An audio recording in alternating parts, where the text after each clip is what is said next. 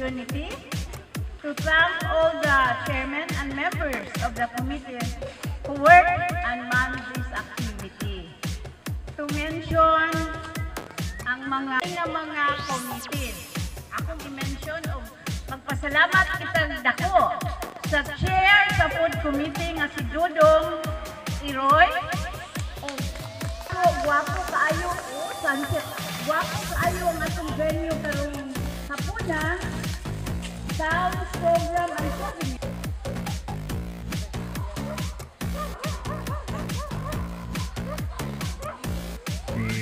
Dominic Eroy Turtul. Ito sugatong sa mga kita. Kasi lang karon. Okay, well. The early bird from Utami. 17 kabuo.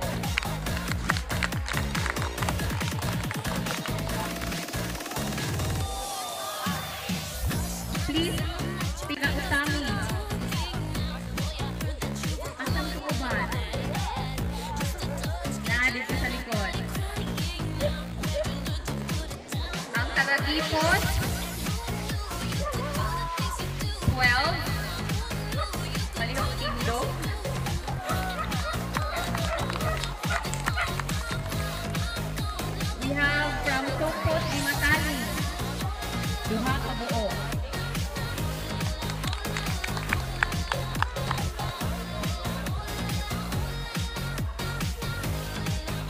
From Tabina, we have 72 registered participants. Indo!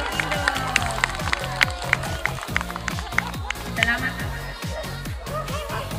We also have uh, descendants of Lourdes and Francisco Roda, also from Pagadian Cluster, 15 kabuo.